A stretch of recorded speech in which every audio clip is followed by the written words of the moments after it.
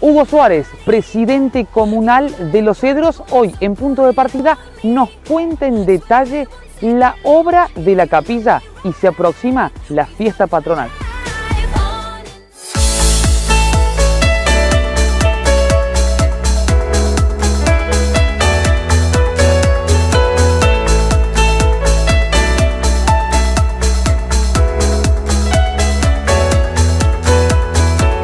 Sí, estamos ya en los tramos finales, ¿no? Haciendo todos los retoques, digamos las terminaciones, que es lo más lerdo.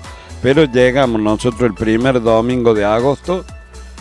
No, el día 8 de agosto va a ser el segundo domingo. Tenemos previsto la inauguración porque el día 7 es San Cayetano, nuestra capilla, el santo patrono es San Cayetano y va a estar inaugurada. O sea, nos ha llevado bastante tiempo. Esta la comenzamos casi cuando comenzó la pandemia y bueno, no la paramos porque dijimos, fuimos avanzando así cuando entrábamos en cuarentena fuerte teníamos que parar y así fuimos trabajando de a poco, pero gracias a Dios vamos a llegar a tiempo y en términos para este 8 de agosto que va a ser la inauguración.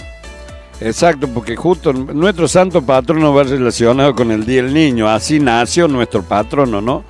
Con un Día del Niño y bueno, estamos festejando el Día del Niño, nos estaban ayudando los, los, curas que venían acá a hacer misa y dice, bueno, tenemos que elegir el santo patrono, mira, hoy es 7, día de San Cayetano, el día del niño, y bueno, ya así fue por conformidad de todos y elegimos este santo, ¿no? Así que nosotros siempre relacionamos el día del niño y la patronal en la misma fecha, y ya el año pasado tuvimos eh, los realizamos una, unas patronales, digamos, una procesión en vehículos. Eh, no hubo, hubo una misa donde estuvo el, el, padre, nomás se transmitió por la radio local, la FM, y nosotros escuchamos la misa desde los vehículos de su casa. Y bueno, así se realizó la, la patronal. Y ese mismo día, después, luego se hizo por la misma radio FM los sorteos de juguetes de los niños del Día del Niño que los chicos participaban por teléfono en la radio, ¿no? Y este año creo que va a ser igual.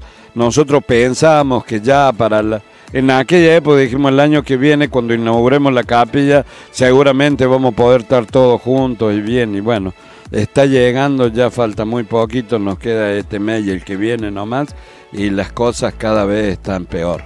Así que vamos a hacer votos de que esté bien todo, que esté lindo y que podamos realizarla, ¿no es cierto?